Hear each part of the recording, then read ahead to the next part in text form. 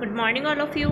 Today we are going to read chapter second numbers english grammar for class 7 rule number 5 we have already read rule number 4 so we continue today rule number 5 if a word ends with f or fe its plural is formed by way of writing ves in place of f or fe if a word agar word जो है उसके and में F या फिर F ही आता है तो उसके प्लेस पे हमें वी ई एस का यूज़ करना पड़ता है।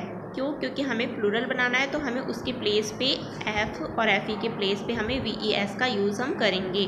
For example singular and plural here singular and plural two words first calf C A L F यहाँ पे एफ़ जो है वो एंड में दे रखा है तो इसके प्लेस पे हमने एफ़ को हटा के हमने वी ई एस का यूज़ किया है तो ये हो जाएगा calfs second is thief T H I E F यहाँ पे भी एफ़ को हटा के हमने वी ई एस का यूज़ किया है। Same third word is half halfs knife knifes wife wifes life lifes now rule number six Noun having o at their end are made plural by adding es to them. Nouns. अगर कोई word वो ओ से and हो रहा है तो उसके place पे, यानी कि ओ को इसको वहीं पे रखना है ओ को हटाना नहीं है, और उसके बाद में हमें ई एस का यूज़ करना है। For example is hero heroes tomato tomatoes यहाँ पे ओ है तो ओ के बाद में हमने ई एस का यूज़ किया है। Next example mango mangoes potato potatoes now rule number 7 here. Some nouns are formed plural by way of changing their vowels. ये अपने vowels के अकॉर्डिंग ही चेंज होते हैं। कुछ nouns ऐसे होते हैं एक्सेप्शन केस में ऐसे होते हैं जिन्हें हमें चेंज नहीं करना होता, सिर्फ़ ये अपने vowels साउंड के अकॉर्डिंग चेंज होंगे। क्योंकि वॉवल्स होते हैं, वो फाइव होते हैं ए ई आई ओ यू तो उनके प्लेस पे ही हमें इसे चेंज करना होता है।